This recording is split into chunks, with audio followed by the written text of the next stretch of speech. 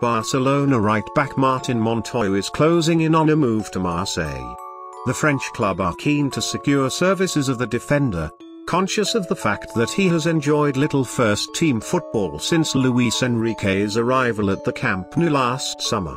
Liverpool and Arsenal had also both been linked with a move to the fullback who is keen to leave the club and is close to finalising a deal to join the French Giants.